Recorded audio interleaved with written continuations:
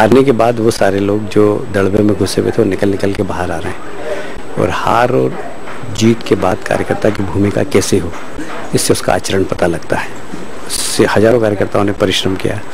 परिणाम सुखद नहीं आया तो डेमोक्रेसी में हार और जीत तो चलती रहती है। मैं इसको बहुत ज़्यादा उसमें लेता हूँ।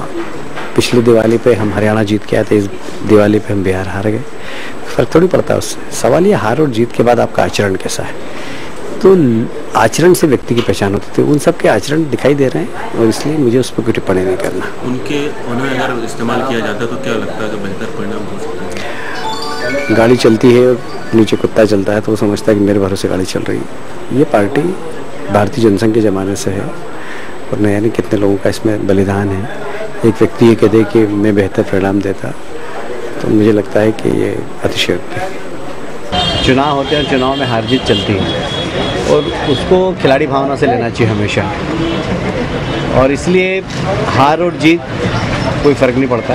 थोड़ा सा मन ज़रूर जीत जाते हैं तो जश्न मनाते हार जाते हैं तो समय के लिए मन दुखता है। पर हर हार एक सीख देकर जाती है। मुझे लगता है कि हम, हमारी जो कमियाँ थी, हम उसको समझेंगे, सीखेंगे। और मुझे ये कहते हुए गर्व है कि अमित शाह जी ने जो एजेंडा डेवलपमेंट का दिया था, उस डेवलपमेंट को भी लोगों ने वोट किया है। बिहार की राजनीति जातिवाद की थी।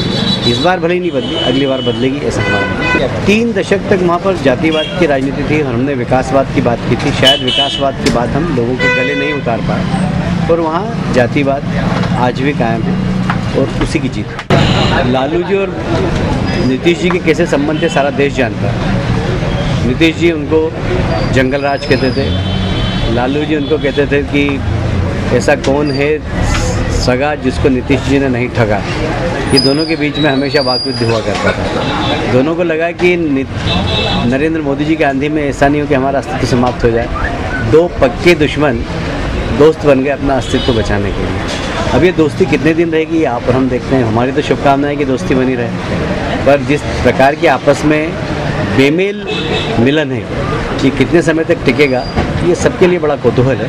हमारी शुभकामना उनके साथ।